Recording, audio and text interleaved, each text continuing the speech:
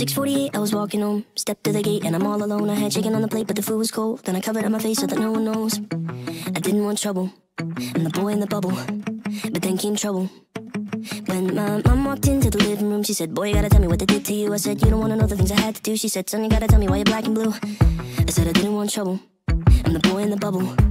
But then came trouble. And my heart was pumping, chest was screaming,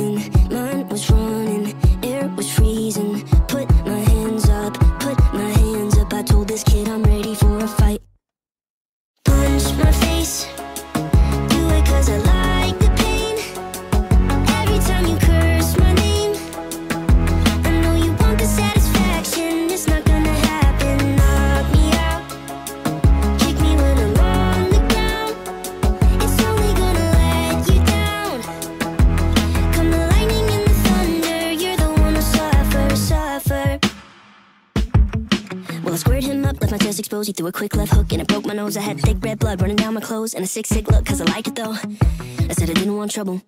I'm the boy in the bubble. But then came trouble.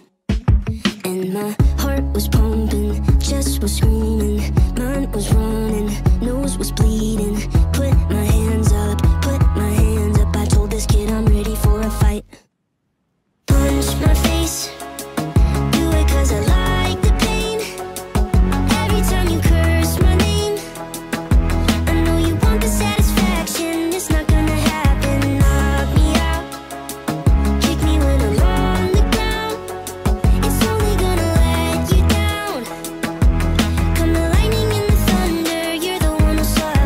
Suffers. 648, he was walking home with the blood on his hands from a broken nose. But like every other day, he was scared to go back to his house cause his pops was home.